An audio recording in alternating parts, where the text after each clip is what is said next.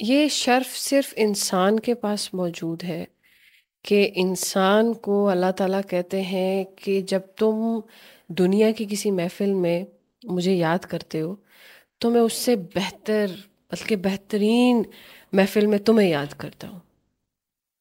ये बात बयान करने का मकसद ये है कि अल्लाह ताला हर वक़्त आपको अपनी तरफ़ ही चाहते हैं। यानी अगर इंसान के ज़हन में ये आए कि मेरी ज़िंदगी में जो डिस्टर्बेंस है, प्रॉब्लम्स हैं, अल्लाह चाहता ही नहीं है कि मैं अच्छा इंसान बनूँ या ऐसा नहीं है।